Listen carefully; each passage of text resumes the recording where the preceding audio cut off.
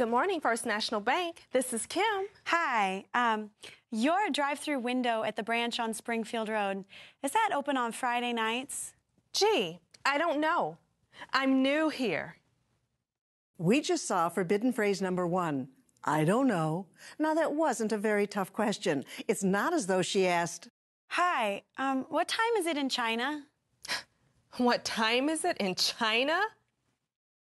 Now, that was a tough question. It didn't concern your business. But for people to call with routine questions about your organization and get an I don't know, that's so frustrating. Let's see how the caller felt. I don't know. I don't know. I don't know. I wonder about a company like that. You call with a simple question, and the person who answers the phone doesn't know the answer, and worse, makes no offer to help. Am I making a mistake thinking of dealing with them? How good could they be, judging by the treatment I just got? After all, that's their representative. That's who they chose to deal with the public. I purposely waited to see if she'd offer help. Yeah, right. It's as if she wanted me to hang up and call a competitor. That's exactly what I'm going to do.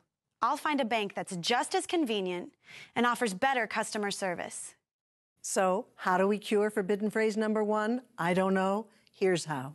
First of all, we understand you won't always have the answers at your fingertips, but we want you to treat that customer with the positive attitude of, I don't know, but I'll find out. Next, leave out the negative parts, the I don't know but. What's left? It's your job to help. Even if you're unable to get the information, you've made an offer to help. You've gone that extra mile, and that's what's important. So when someone asks you a question that you don't have the answer to, your reply should be a helpful, gee, that's a good question. Let me check and find out.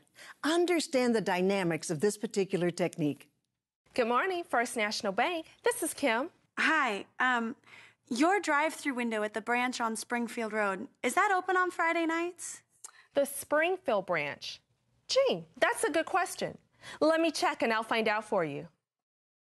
Now that's better. The caller can feel you're trying to help. Telling the caller, I don't know, with no attempt to assist is one of the public's major pet peeves. What are they supposed to do? Just hang up and forget about it? And one more telephone doctor tip. Sometimes a customer will ask you an unusual question, and you need a little more time to decide where to transfer that call.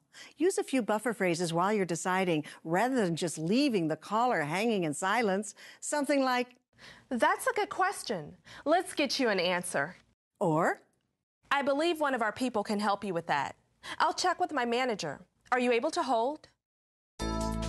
Forbidden phrase number one, I don't know. Recommended? That's a good question. Let me check and find out.